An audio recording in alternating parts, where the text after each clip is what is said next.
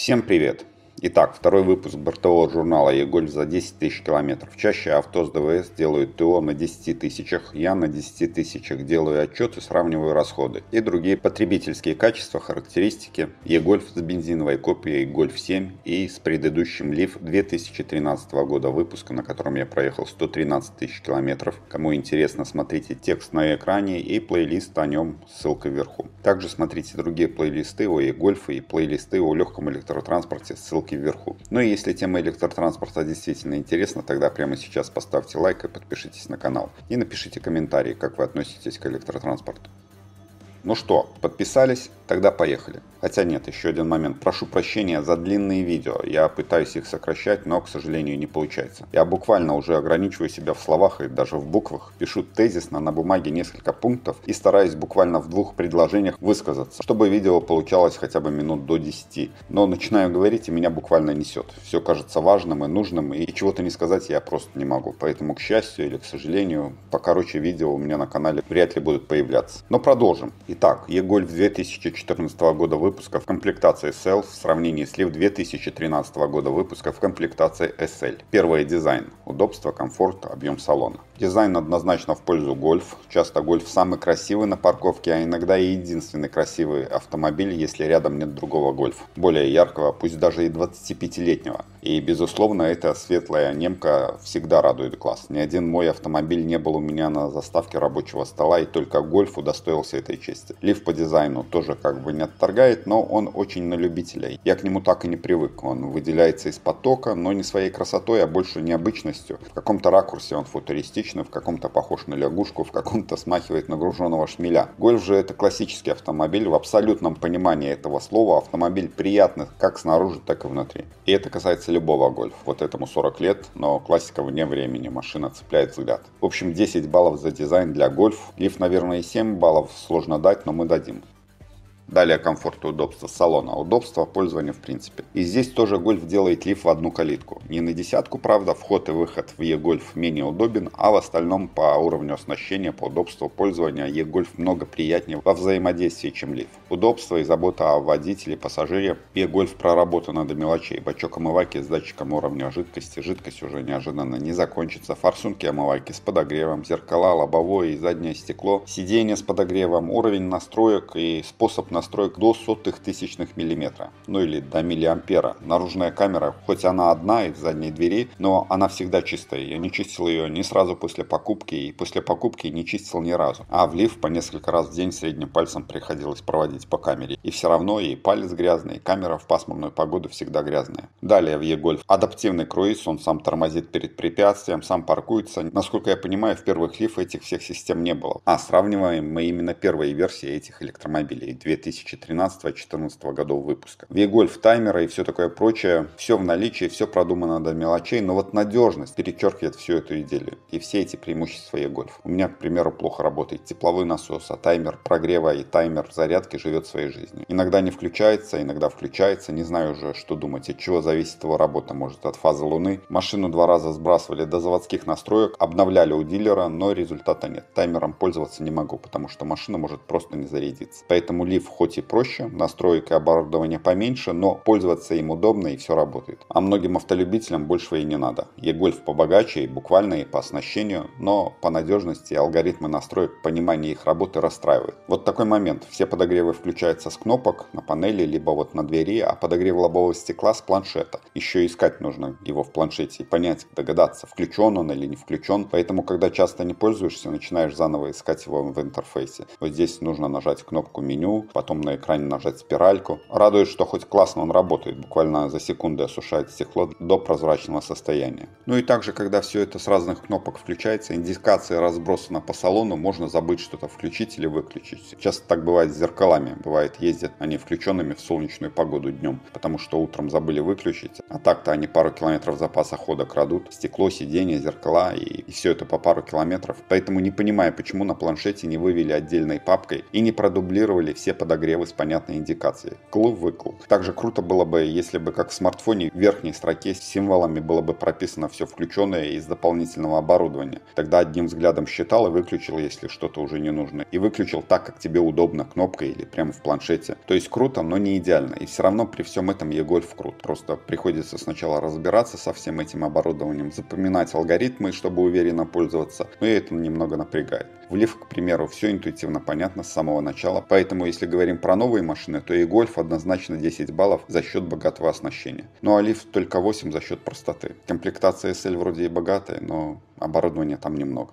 Далее, объем салона и багажник. В E-Golf салон чуть меньше, меньше, чем в Leaf. Багажник однозначно меньше, хотя и удобнее лифовского. Правильной формы, сиденья складываются в ровный пол, есть подполье, есть розетка на 12 вольт, крючки для крепления грузов. Что касается салона, то визуально казалось, что E-Golf много теснее Leaf, особенно на задних сиденьях, особенно в ногах. Но нет, если и теснее, то незначительно, потому что вот если мерить бутылями по 19 литров, то казалось в E-Golf две бутыли рядом друг с другом на пол, как в Leaf не станут. Но вот становится и центр центральный тоннель в E-Golf меньше, чем в Leaf. Также на заднем ряду в E-Golf есть диффузоры отопителя. И здесь вот у центрального тоннеля вверху и выход в ноги под передними сиденьями. И возвращаясь к удобству пользования, да, садиться, выходить из E-Golf, конечно, сложнее и менее удобно, чем в Leaf. Но вот сидеть, особенно на заднем ряду, это блаженство. Сиденье тебя буквально окутывает, словно руки мамы окутывают младенца. Сидишь как в коконе. С хорошей отформовкой, в тепле, с хорошей шумоизоляцией, с многорычажной мягкой подвеской на задней оси. Находиться в E-Golf много приятнее приятнее и круче, чем в Лив. Затемненные окна, классная подсветка, акустика и все такое прочее. Из окна E-Golf Минск совершенно другой, приятнее. E-Golf как розовые очки в плане комфорта и восприятия мира. Про передний ряд и кокпит эргономику совсем не говорю. Volkswagen Master по суперудобному и комфортному уровню взаимодействия с автомобилем. Единственное, в чем E-Golf проигрывает, так это по высоте потолка. В папахе будет неудобно. Ну или не в папахе сейчас, мало кто носит папаху. В короне. Тем, кто за рулем корону не снимает, E-Golf будет неудобно. Ну или не корона, Сейчас модно шапочка из фольги с острым верхом.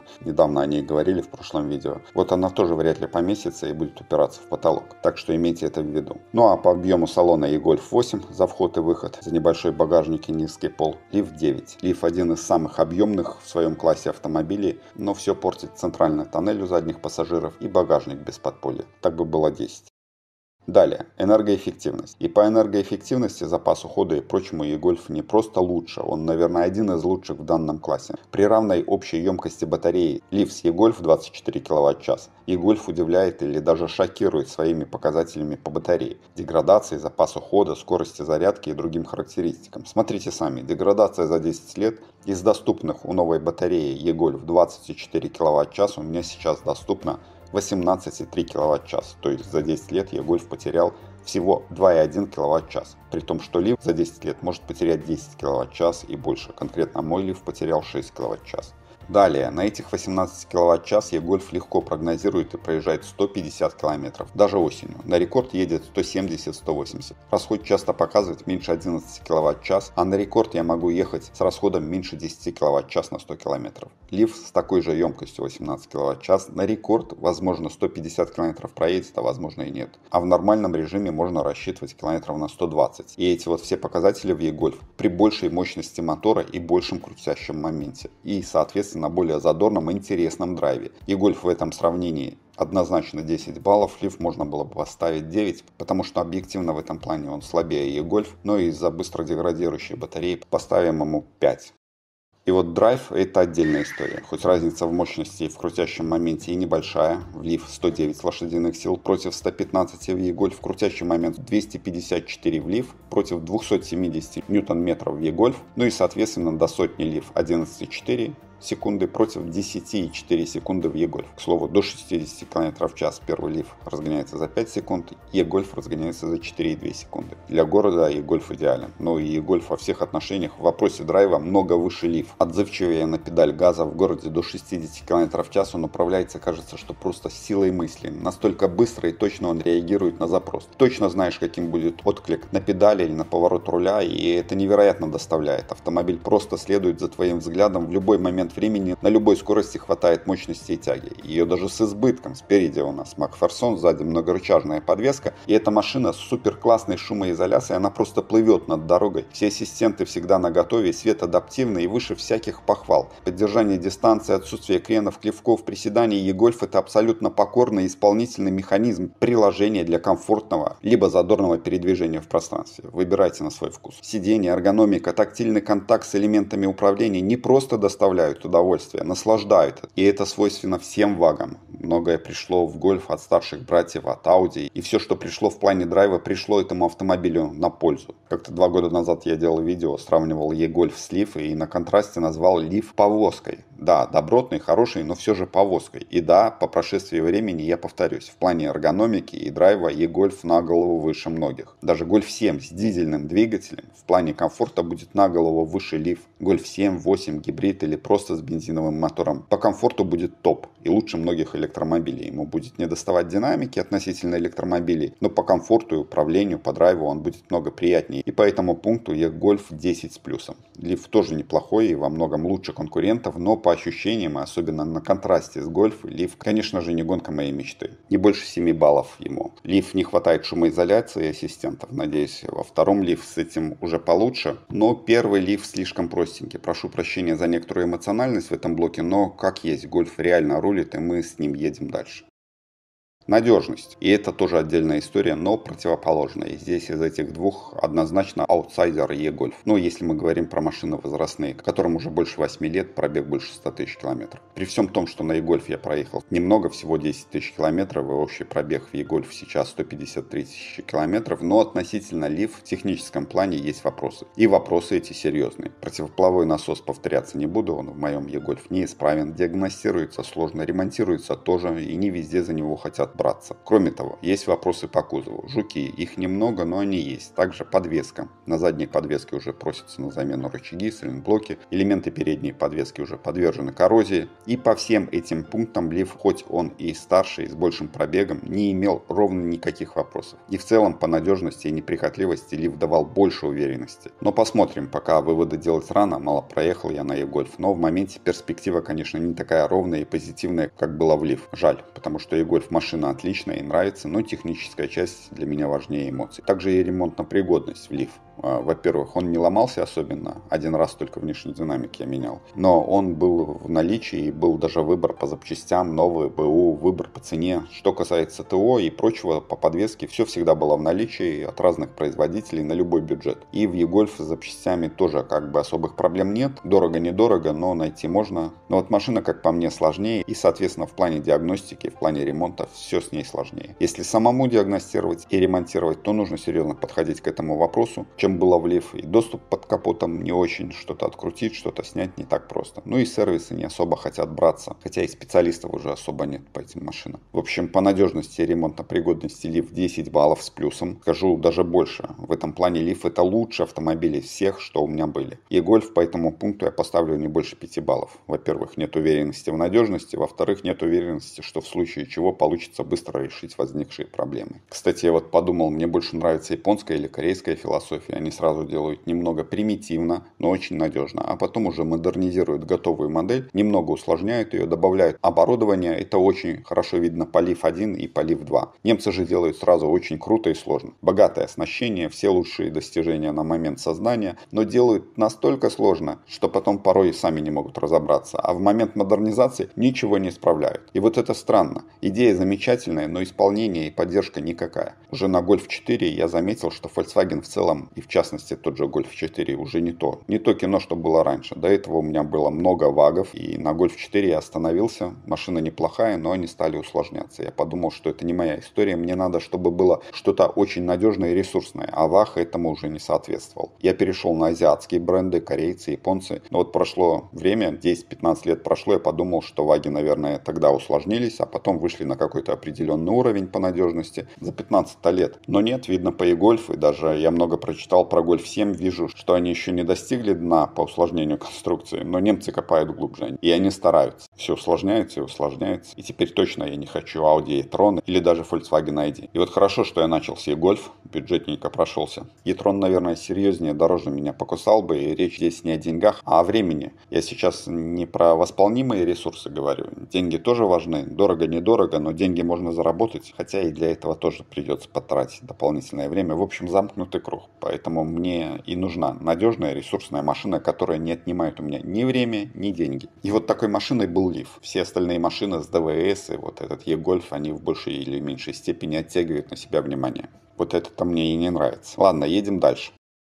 Внешнее оборудование. Первый плюс в e-Golf это порт CCS Combo. С дополнительным кабелем я могу заряжаться от любого столбика в Беларуси, буквально от любой станции. Быстрая зарядка действительно быстрая. С 10 до 80% качает на мощности в районе 45 киловатт. Дольше 20 минут я, наверное, нигде не заряжался. Чаще всего мне нужно было 5-7 минут, чтобы доехать домой. Ну и как чаще всего? Очень редко. Запаса хода мне хватает и заряжаюсь я чаще всего на дальнике. Ну вот здесь за 10 тысяч километров я зарядил всего 73 киловатт-час. Влив медленный порт тип 1. У нас таких вилок на общественных зарядках почти нигде нет. Нужен переходник. Быстрый порт чадема. Запускается не везде. Заряжается дольше. 30-40 минут зарядка влив была. И сразу начиналась с малой мощности и под конец сильно снижала мощность. К слову, здесь скажу, что в e-Golf быстрая зарядка тоже не всегда запускается с первого раза. Единственное, что радует, что вилки CCS Combo есть везде. И их не планируют снимать. А вот вилки чадема уже пропадают с некоторых столбиков. Их снимают и сеть чадема больше не развивает. Далее, что касается домашней зарядки. В Leaf у меня был адаптер 12 ампер, и он заряжал свои 10-12 киловатт-час, которые мне нужны были в день, часов за 5. В этом плане все круто и классно. Порт зарядки в Leaf спереди, подъезжать удобно. Также индикация видна, если машина в поле зрения, под стеклом крупные лампы, и мало того, что видно, что машина заряжается, видно, насколько она зарядилась. Лампы 3 видны 33%, 67%. Длина кабеля в Leaf была 5 метров, и родной ниссановский адаптер буквально, я извиняюсь, жрал электричество. Ему не страшны были колебания по напряжению, отключение энергии. Энергию включали, и он продолжал зарядку. Лифу в плане домашней зарядки, опять же, 10 с плюсом. Volkswagen все иначе. Адаптер родной с регулируемой мощностью, но максимальной мощность всего 8 ампер. Что здесь регулировать? Даже с 8 амперами, чтобы зарядить эту машину полностью, нужно 14 часов. Куда еще понижать мощность? Длина кабеля всего 3 метра, порт зарядки сзади, и подъезжать нужно близко к розетке. Подъезжать неудобно задним ходом, и дома неудобно, и на общественных зарядках неудобно. Адаптер нежный, если энергию отключили, с включением энергии он уходит в ошибку, не продолжает заряжать машину. Колебание энергии ему не нравится, тоже может отключиться. В общем, нужно его менять. Брать адаптер помощнее и заряжаться хотя бы на 10-12 амперах, потому что 8 ампер не всегда хватает зарядиться по ночному тарифу до 100%.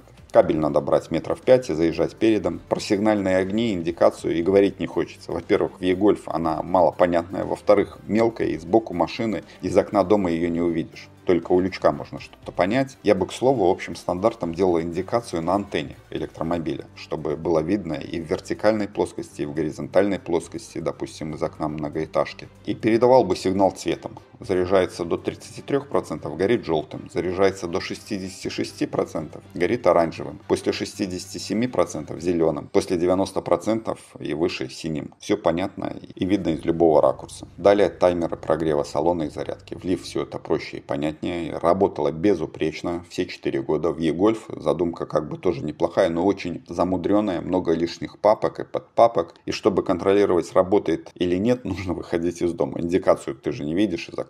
А приложение, если есть, то у нас в стране оно не работает. По этому пункту за домашнюю зарядку и индикацию лив 10 баллов. e-Golf, опять же, больше 5 баллов я не поставлю. Также e-Golf у меня с дополнительным оборудованием, с автономным отопителем. И если коротко, то это неудобно. Ну а развернуто расскажу в отдельном видео. Далее, расход, расходы, стоимость машин. Стоимость машин e-Golf при прочих равных, год выпуска, пробег, емкости батареи, как правило, дороже. Особенно это видно по первым версиям с батареей 24 кВт-часа. Правильнее было бы сравнивать e-Golf Sleeve с батареей 30 кВт-час. Он по запасу хода и по цене ближе к e-Golf 24 кВт-час. Но машина у нас сравнивается 2013-2014 годов выпуска, а в этом случае был Leaf только с батареей 24 кВт-час. Но даже если допустить, то и в случае с батареей 30 30 кВт-час, e-Golf часто бывает существенно дороже при прочих равных, а машина объективно лучше по многим показателям, кроме одного. С возрастом e-Golf не достает надежности. По этому пункту за стоимость машин e-Golf больше 7 я не поставлю, Leaf 10 с плюсом баллов. Бюджетный, надежный, хороший электромобиль.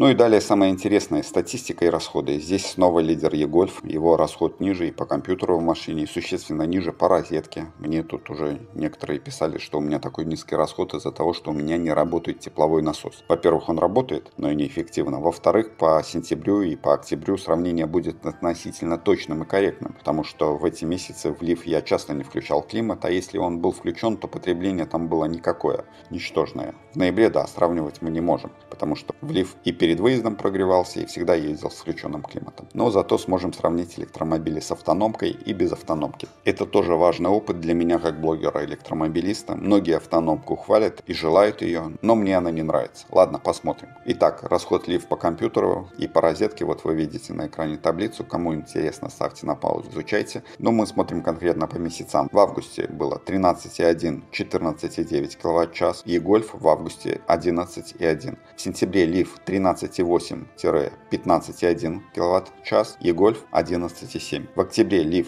15,1-16,9 кВт-час и Golf 13,1. Ноябре Leaf 17,4-18,2 кВт-час, E-Golf 14,1. И здесь, наверное, стоило добавить 2 кВт-час на тот случай, если бы у меня тепловой насос работал бы эффективно и расход был бы у меня в районе 16 кВт-час. Далее такое же сравнение по розетке. В августе Leaf 15,8-17,2 кВт-час, E-Golf 13,7. В сентябре Лив 17,3, 18,6 за разные годы. И я напоминаю, я даю цифры за разные годы от и до. И Гольф 14,5. В октябре Лив 19,2, 21,8 и Гольф 14,9. Ноябрь Лив 22,9, 25,9 и Гольф 17,3. Также и здесь 2 кВт в ноябре мы добавляем на отопление и дополнительный прогрев салона перед выездом. и того получаем в районе 19 кВт-час для e-Golf в ноябре. И это существенно ниже, чем потреблял Лив при том же режиме эксплуатации. Цифр много и так не очень наглядно, тогда вот более выразительно значительный формат. Всего за первые 10 тысяч километров Лев сжег 2537 киловатт-час. И Гольф 1563 киловатт-час. Разница в 1000 киловатт-час на 10 тысяч километров пробега. И это невероятная разница, впечатляющая. Но многие скажут, что она неверная, потому что и Гольф проехал первые 10 тысяч километров в сентябре, октябре, ноябре, а Лив с октября по февраль. Поэтому я взял для Лифа 10 тысяч километров осенью 2023 года, и там на 10 тысяч километров он потратил 2000 2420 кВт-час, что не намного отличается от первых 10 тысяч километров. Там было, напомню, 2500 кВт-час. Разница всего 100 кВт, и я повторюсь, это невероятная разница. Ну и по счетам за энергию это видно. Залив я как бы в месяц немного платил.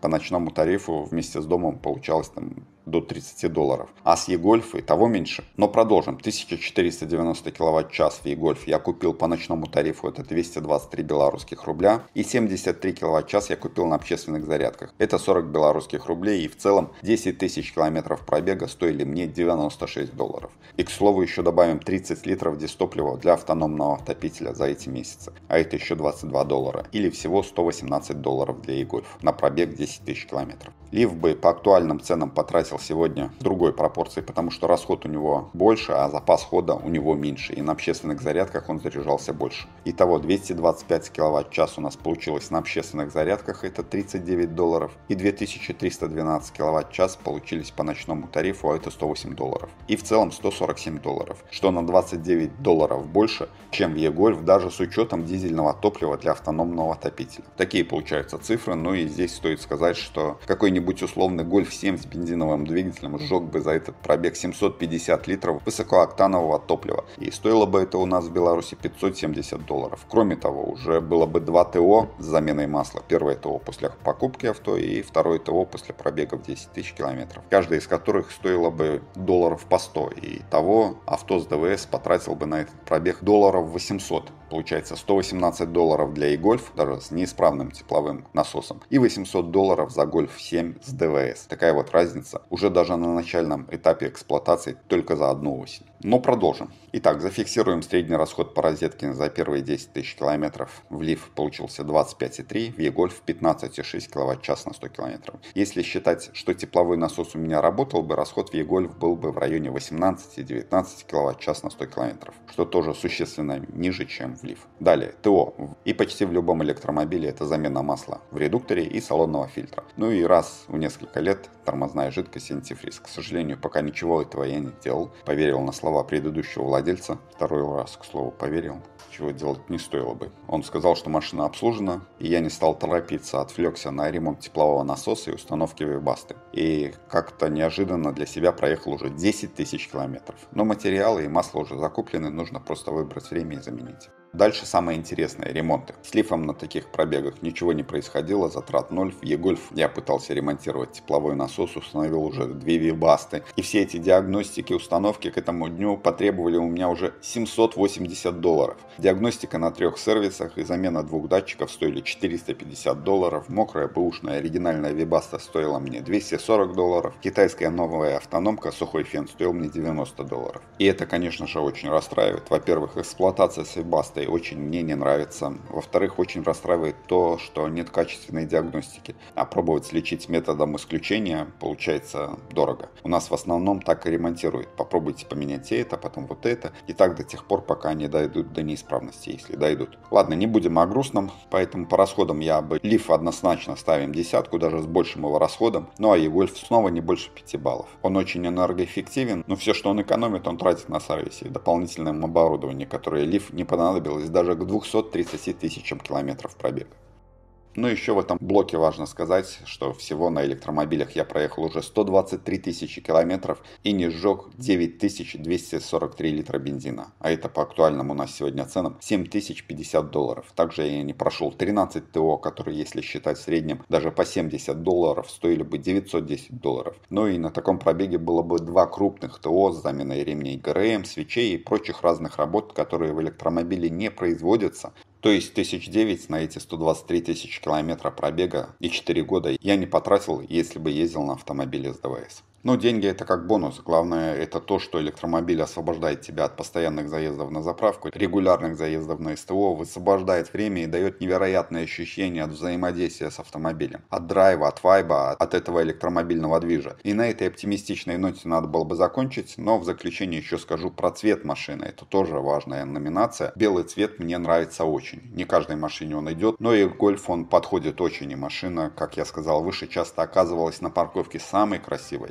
но белый цвет требует ухода. Многие говорят, и вот мне в комментариях даже писали, что белый цвет наоборотный и менее проблемный, более практичный, а темные и черные цвета в этом плане наоборот более требовательны. Но не соглашусь. Может только экскременты птиц на черном видны лучше, а в остальном ситуация обратная. Самые немаркие это, как оказалось, золотистые и серебристые. У меня были машины такого цвета и белого, и черного, и золотистого, и серебристого. А вот белый цвет по мне нужно мыть чаще, удалять с кузова всякие точки смолы от дороги, следы божьих коровок, мелкие точки точечки сажи и прочее. И вот посмотрите, две машины, помытые в один день, уже через пару пасмурных дней выглядят очень по-разному. И смотрите, с любого расстояния, из 10 метров, из более близкого, из одного, из двух метров видно, что гольф грязный. И насколько он грязный, видно особенно в начале мойки. А черный матис, можно сказать, мойки и не нуждается. Что до мойки, что после мойки он выглядит примерно одинаково. Только, может быть, после мойки блеска добавил. Гольф нет, он очень меняется после мойки, просто преображается. Ну и машина настолько хороша собой, что буквально ей любуешься, в белом цвете особенно. И вот помой машину и потом делаю фотографии, потому что мне очень она нравится.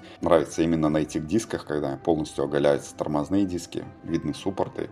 Очень круто. Ну и в заключение общее сравнение. Что получилось по баллам? И если коротко и образно, то Лиф это очень добротный, надежный автомобиль, рабочая лошадка, преданный самурай. И кому важны эти критерии, то, безусловно, Лиф будет подходящим вариантом. Е-Гольф это про стиль, комфорт и, конечно же, драйв. Это дерзкая блондинка с хитрым прищуром. Кому не просто ездить, а еще и любоваться, и при этом еще и эмоции, то, конечно, нужно посмотреть на Е-Гольф. Но в случае с e-Golf нужно быть готовым к тому, что решение каких-то технических вопросов могут затянуться. Поэтому если e-Golf, то только в очень хорошем состоянии с небольшим пробегом.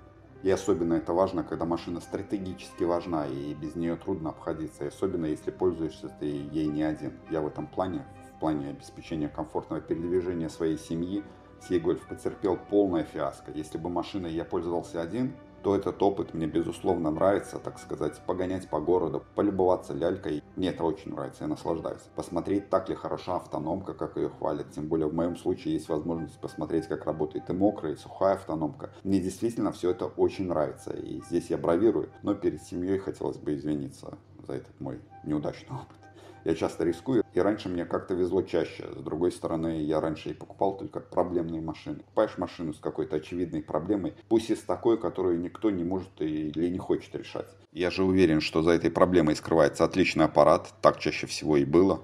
Я не обольщался, от машины не было больших ожиданий.